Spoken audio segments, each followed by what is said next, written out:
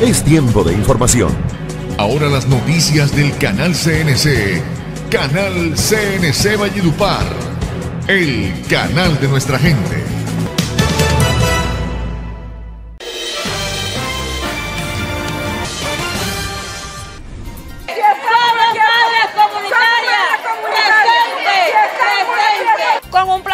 Las afueras del ICBF de Valledupar, madres comunitarias exigen el aumento para la minuta de los niños, además de la pensión laboral que muchas ya se ganaron.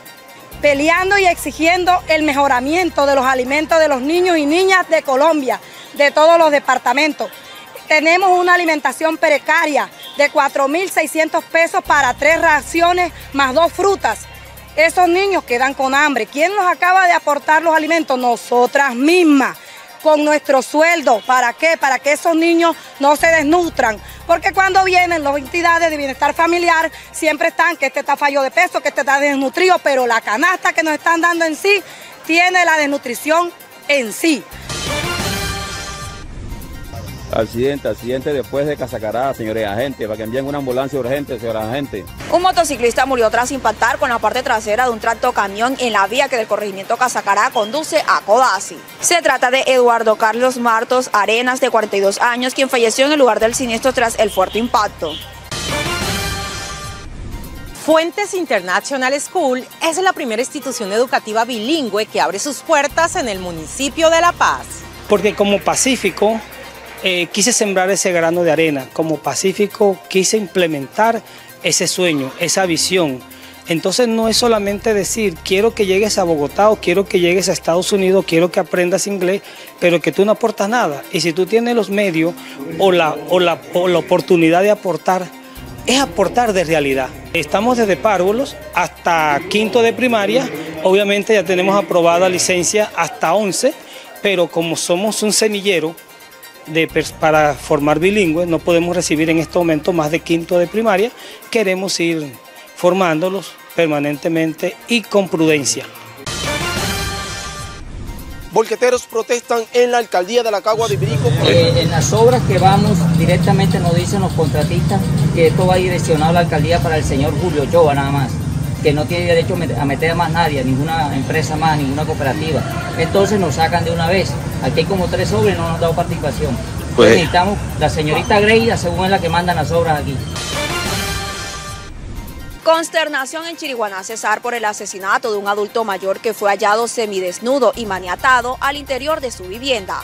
El alcalde Iván Camaño ofreció hasta 10 millones de pesos por la captura de los homicidas. La víctima de este crimen fue identificado como Juan Bautista Díaz Reales, de 78 años, quien según la policía presenta golpes con objeto contundente en la cabeza y diferentes partes del cuerpo. Situación que nos conllevó a hacer un Consejo de Seguridad de carácter extraordinario, con el fin de determinar, analizar todos los móviles que llevaron al asesinato, pero también para ofrecer y aprobar hasta 10 millones de pesos a la ciudadanía, a aquellas personas que nos informen y nos den con la captura de estos maleantes, de estos perversos.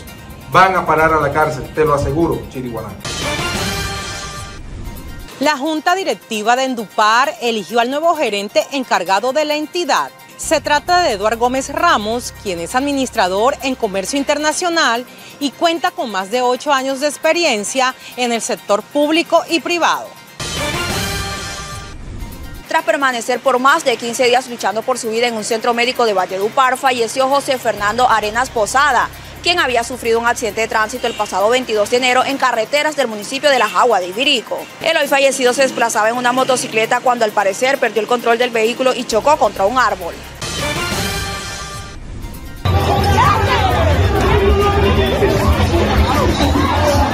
A puños y patadas cogieron a una joven de aproximadamente 20 años en un establecimiento público al norte de Valledupar.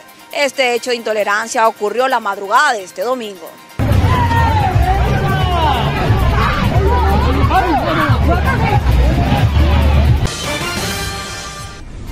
Víctor Isaías García Ortega fue asesinado a tiros en el patio de una vivienda en el barrio Simón Bolívar del municipio de Astrea Cesar. El hecho sangriento ocurrió cuando la víctima llegaba a visitar a una tía. Las autoridades se encuentran investigando el crimen.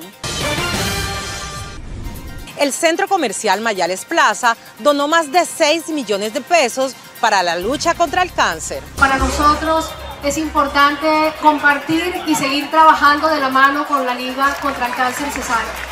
Este es un cheque que entrega Mayales Plaza, un aporte para abrir la urna, 6 Muchísimas gracias a ustedes y muchísimas gracias a Mayales. Desde la capital mundial del vallenato, Valledupar. Canal CNC presenta CNC Noticias.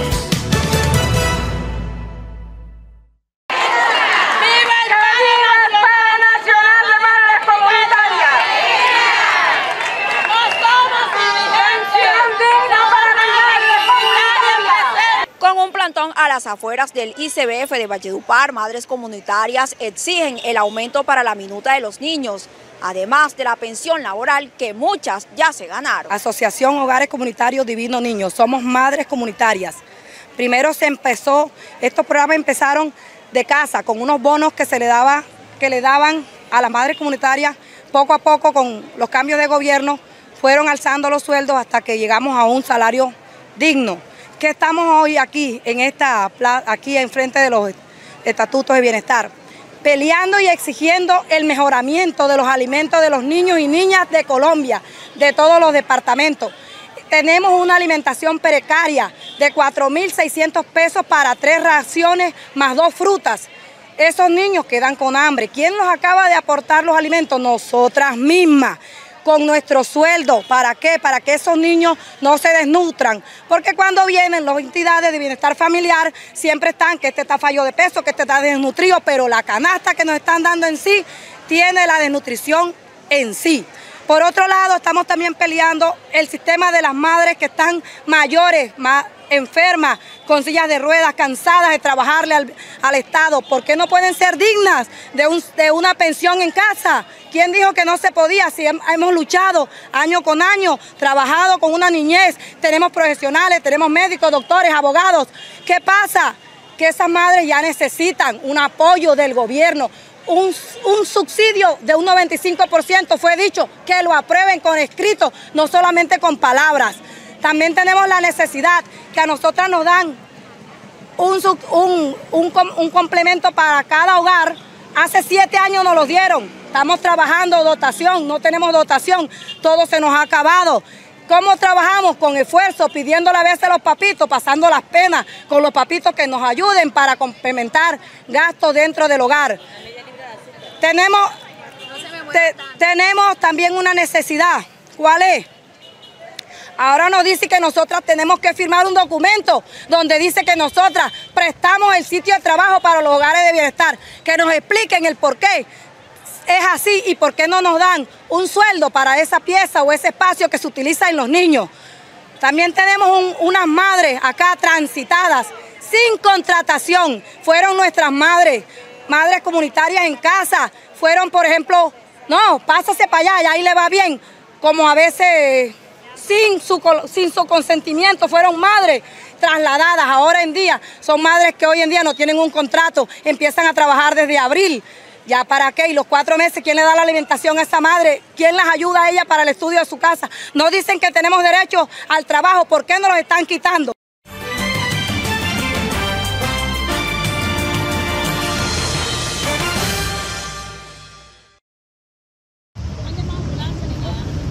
Ya, ya la avisé a la policía.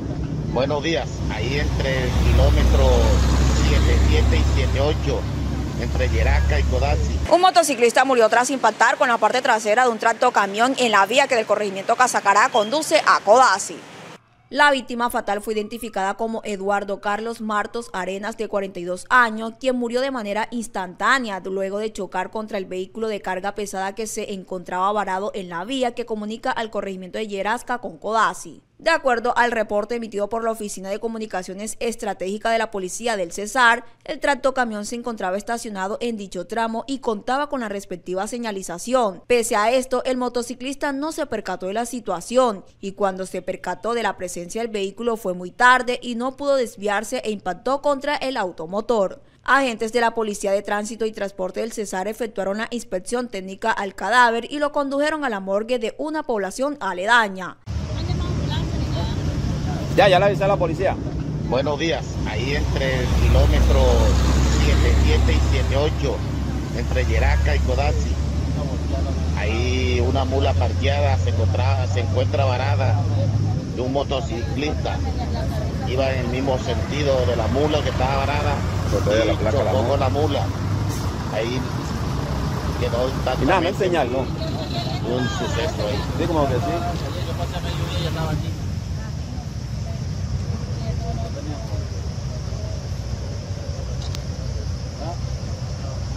Accidente, accidente después de Casacará, señores agentes, para que envíen una ambulancia urgente, señores agentes. Después de Casacará, dos kilómetros después de Casacará, un accidente, una moto se metió en una mula.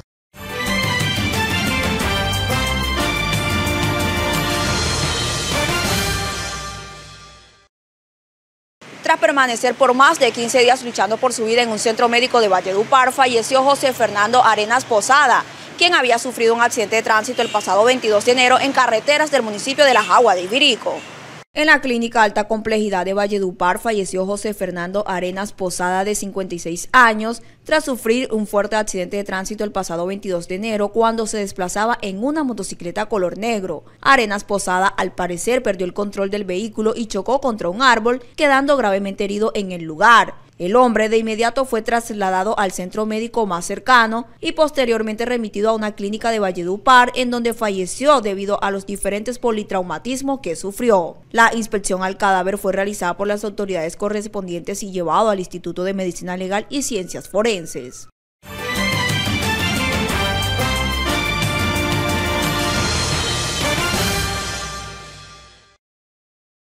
Fuentes International School es la primera institución educativa bilingüe que abre sus puertas en el municipio de La Paz. Porque como Pacífico eh, quise sembrar ese grano de arena, como Pacífico quise implementar ese sueño, esa visión.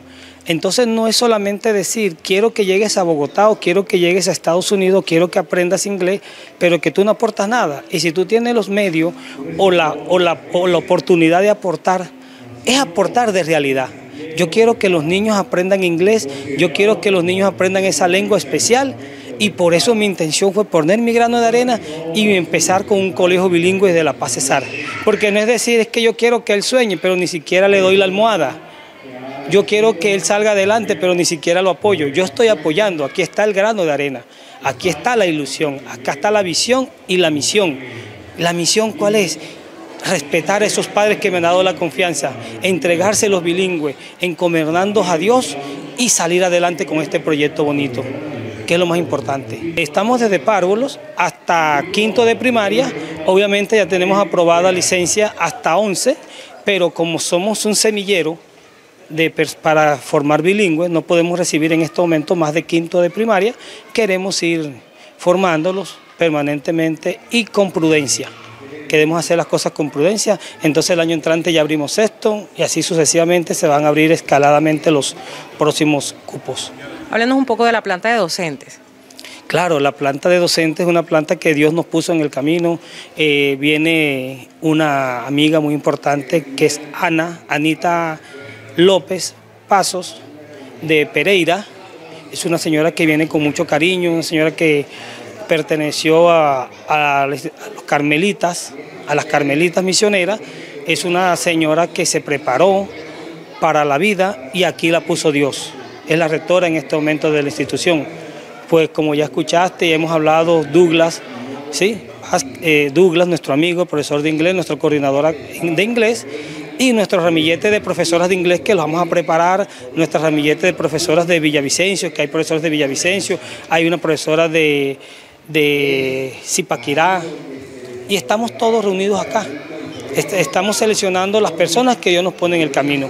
Estamos preparándonos entre todos porque no es fácil ni hablar el español, mucho menos el inglés. Y entre todos nos estamos preparando para esto. ¿Esta es la primera institución educativa bilingüe en el municipio de La Paz? De La Paz, certificada, sí, claro, de La Paz Cesar. Y no tanto de La Paz, sino del departamento que se presenta en este momento a competir sanamente y a brindar educación al departamento del Cesar. No solamente a La Paz, ni San Diego, ni Manaure, ni Urumita, todos los departamentos vecinos, como es nuestra Guajira, nuestro Cesar, y seguir unidos todos. Nuestro bilingüismo para desarrollar nuestro país y nuestro, nuestro pueblo La Paz. Yo más o menos ya 20 años enseñando inglés, entonces en diferentes niveles, de primaria, bachillerato, de ejecutivos, eh, de universidades, etc. En esa parte pues es lo que voy a brindar acá. Yo soy colombo-americano, fui creado en Estados Unidos, en Nueva York para ser específico. I speak fluent English. I was raised in Miami. Eh, pues más o menos para que vean el nivel de inglés que tengo. Es nativo, no tiene nada de, ningún acento, sino es netamente americano. Entonces aparte a los niños se le va a calificar ese, se le hace imponer el, el acento para que ellos puedan hablar y comunicarse igualmente al nivel de una persona nativa, igual, eh, igualmente a los profesores. Estoy encargado de la, la, calidad de inglés que se reparte, igualmente los proyectos que se van a embarcar de aquí adelante en la parte de... Eh, eh, programas para los adultos en inglés, igualmente para personas especializadas en esas ramas y otros programas que tengo eh, para el colegio. Estás viendo Canal. El canal de nuestra gente. Evita el robo de tu vehículo. En GPS Alarma CJ tenemos lo mejor en seguridad vehicular. GPS para carros, motos y maquinaria de línea amarilla. Con monitoreo satelital 24-7. Alarmas con sensor de proximidad. Sencilla. Todas con encendido a distancia. Cámaras de seguridad. Sistema de bloqueo central para puertas de carros. Llámanos 313-803-6453. 305-240-1014. Diagonal 18D 2050. Los Caciques. En el grupo empresarial Carpio, conformado por Carpio Firma de Abogados y Carpio Bienes Raíces, contamos con un equipo capacitado para brindar los más eficientes servicios de asesorías, consultoría, interventoría en el área legal, así como el área de la administración de inmuebles. Estamos ubicados en la calle 9A número 1557, en el barrio San Joaquín. Contáctanos al 316-666-1017. Dale gusto a tu paladar, saboreando los más deliciosos postres y ponqué que te ofrece Tortas Negle. Elaboramos todo tipo de tortas, cupcakes, flan, bizcochos y todo lo que necesitas para tus eventos especiales.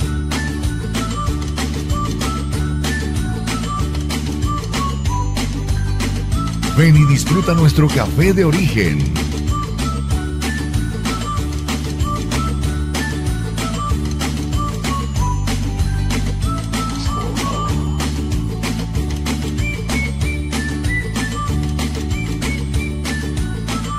Visítanos en la carrera 10, número 1318, Barrio El Obrero.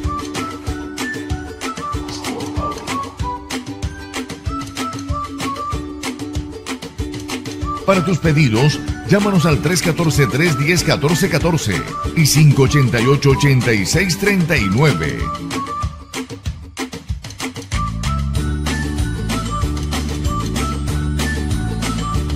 Síguenos en las redes sociales, Instagram y Facebook.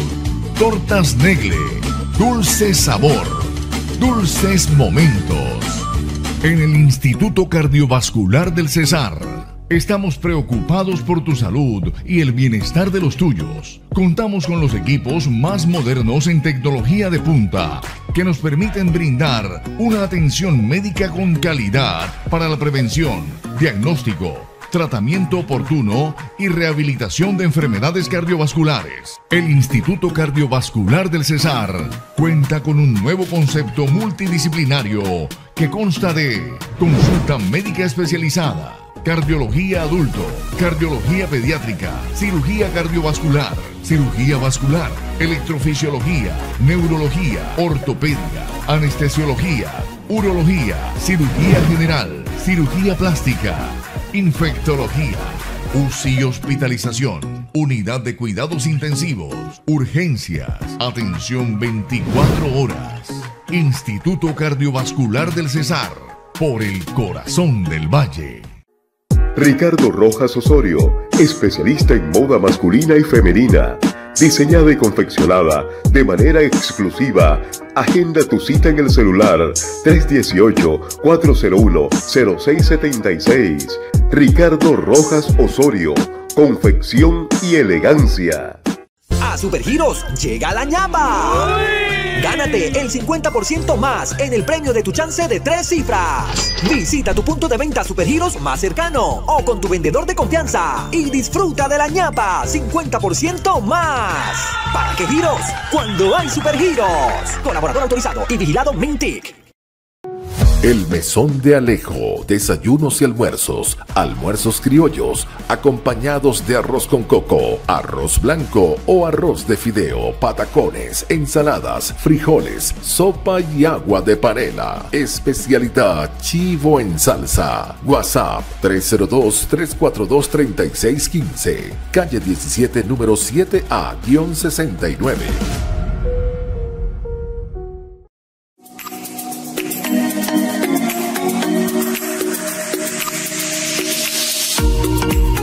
Paz ya cuenta con un almacén, con un super almacén. Promociones El Poderoso. Ropa de marca, camisetas para él y para ella.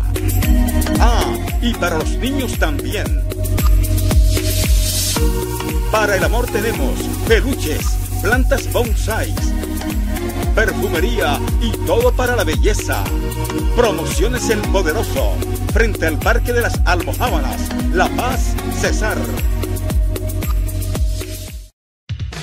Estás viendo Canal. El canal de nuestra gente.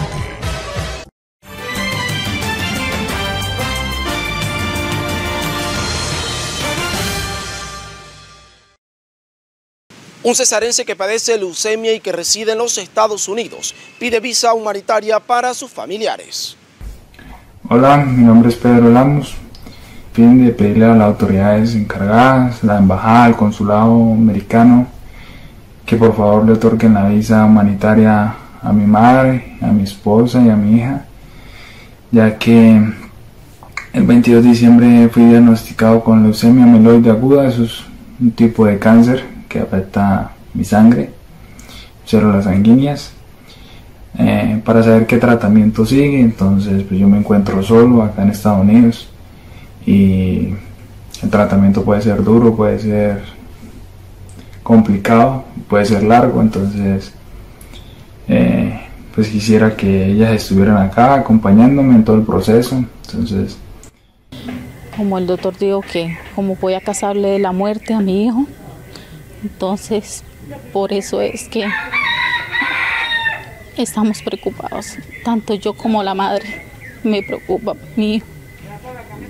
Sí, Señor, lo más pronto posible para estar con él, para de nuevamente para las quimioterapias.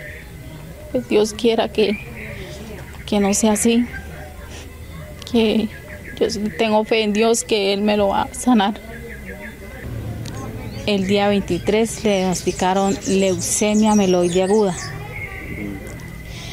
Pues él se encuentra solo en Estados Unidos, eh, ya le hicieron quimioterapias, eh, se encuentra muy débil allá en Estados Unidos.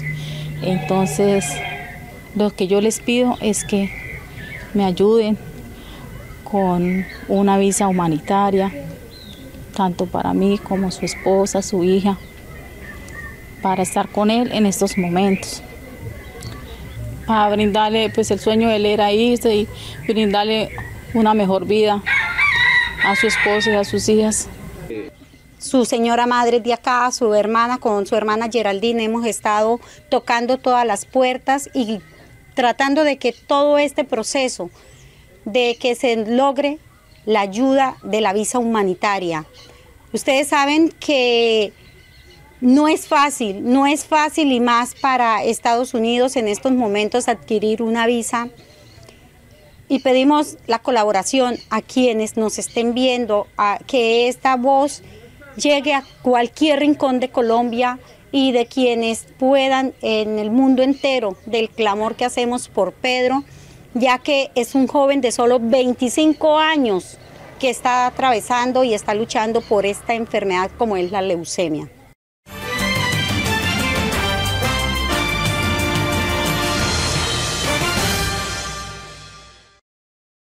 Consternación en Chiriguaná, Cesar, por el asesinato de un adulto mayor que fue hallado semidesnudo y maniatado al interior de su vivienda. El alcalde Iván Camaño ofreció hasta 10 millones de pesos por la captura de los homicidas. El hecho que ha causado repudio e indignación ocurrió en el barrio Nueva Esperanza de Chiriguaná. El adulto mayor era reconocido en el pueblo puesto que se dedicaba a la venta de almohábanas, por lo que se ganó el cariño de los habitantes. El cadáver fue localizado en horas de la mañana semidesnudo y maniatado por una de sus hijas, quien lo estaba llamando por teléfono y no le contestaba. Según la policía, el cuerpo presentaba golpes con objeto contundente en la cabeza y otras partes de su cuerpo. El día ayer, 6 de febrero, nos levantamos con una pésima noticia en el municipio de Chiriguaná y fue el asesinato de una persona de la tercera edad, de nombre Juan Díaz. Situación que nos conllevó a hacer un consejo de seguridad de carácter extraordinario, con el fin de determinar, analizar todos los móviles que llevaron al asesinato, pero también para ofrecer y aprobar hasta 10 millones de pesos a la ciudadanía, a aquellas personas que nos informen y nos den con la captura de estos maleantes, de estos perversos van a parar a la cárcel, te lo aseguro, Chiriguaná.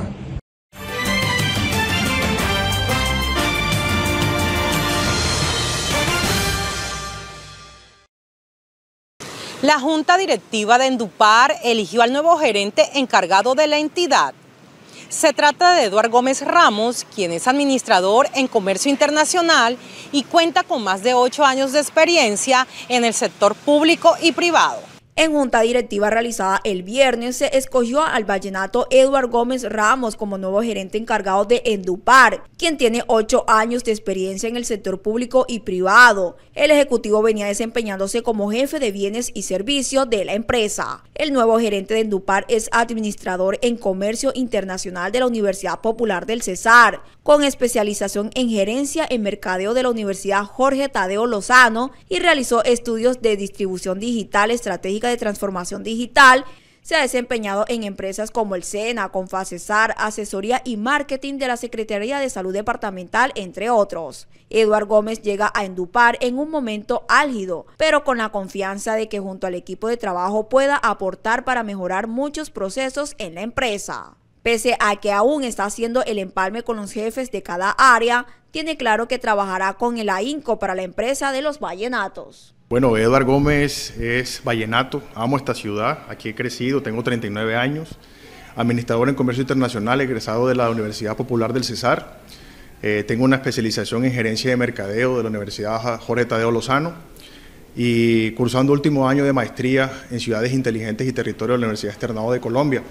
Amigo de sus amigos, una persona eh, que todo lo que hace lo hace de corazón eh, enamorado de esta ciudad, enamorado de mi familia, de mis hijas y bueno, ahora estamos acá en esta empresa donde estamos con las mejores intenciones de responderle a nuestro señor alcalde, la ciudadanía y a todas las personas que confían en que se puede hacer algo por esta empresa. Propósito eh, a la llegada de. Nuestro propósito es hacer las cosas bien. Principalmente vamos a entrar haciendo cambios con un tema de austeridad total aquí en la empresa. Vamos a tratar de minimizar todas las cargas que tiene la empresa, lo que, lo que podamos hacer. Eh, queremos hacer las cosas bien, lo que queremos es salir de aquí cuando ya no estemos, porque estamos de paso acá, salir con la frente en alto y poder aportar ese grano de arena, poder aportar esa, ese, ese poquito, esa milla que falta para que la empresa tome un nuevo rumbo y que los ciudadanos y toda la, la ciudad y los habitantes de la misma puedan volver a creer en la empresa que todos queremos.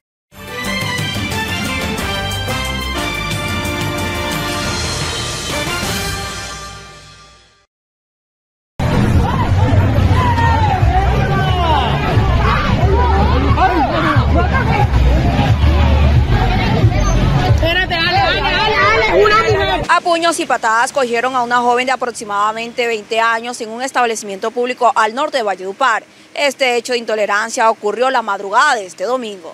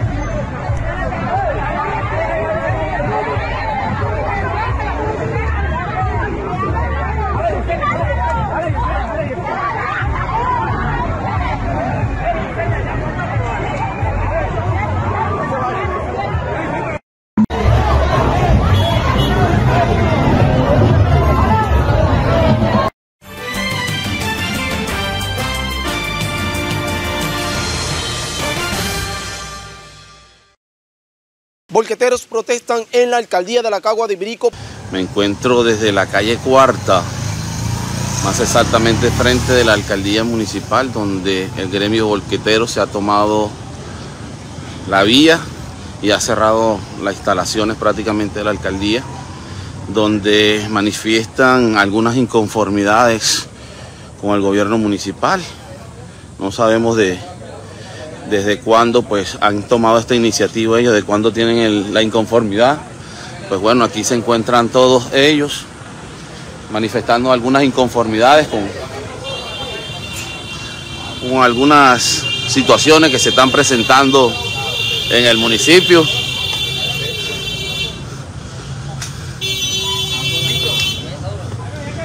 Un abrazo para todos, buenos días. ¿Qué manifiestan? ¿Qué sucede? ¿Por qué se han tomado la calle Cuarta y están en el centro administrativo municipal, alcaldía municipal de Las Aguas? Estamos ya cansados, estamos preocupando por el derecho del trabajo. Ya está bueno, ya. Nos han golpeado, nos han sacado siendo agüeros y viviendo de esto. No una mano, una sola familia, somos muchas familias. Pero ustedes están manifestando en estos momentos que no se les está dando la oportunidad o le están dando la oportunidad a otros. No dan oportunidad, le están dando la oportunidad a, a ciertas personas, siendo funcionarios que no pueden hacer eso aquí en el municipio. Nos están dejando trabajar, nos sacan con plata, el alcalde dio, Grey dijo que no, entonces de donde vamos nos desplazan. Nosotros somos agüeros, compa, aquí todo el mundo tiene familia, somos una asociación constituida legalmente, o sea, no podemos permitir eso, de verdad que no. Así como acaban de escuchar, son las diferentes manifestaciones que, que expresan los compañeros. Eh, en las obras que vamos directamente nos dicen los contratistas que esto va direccionado a la alcaldía para el señor Julio Choa nada más que no tiene derecho a meter a más nadie, a ninguna empresa más, ninguna cooperativa. Entonces nos sacan de una vez. Aquí hay como tres obras y no nos han dado participación. Pues, necesitamos la señorita Greida, según es la que mandan las obras aquí. Ellos manifiestan que se está monopolizando el trabajo en una sola persona, donde hay muchas familias que el sustento de ellos es este, y pues eh, alucen que de alguna manera hay un tráfico de influencias con la mano de obra que se está dando.